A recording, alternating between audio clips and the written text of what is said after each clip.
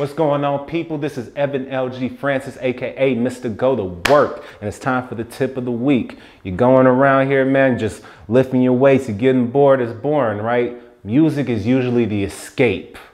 Use usually your escape to where you're going. You need to get that extra aggression in, put those earbuds in, turn up that music, pick your favorite song, and dumb out, all right? That's how you get your results. That's how you get more determination, and that's how you have fun and keep doing what you're doing. As usual, eat healthy, speak healthy, live healthy. Go to work. Yeah.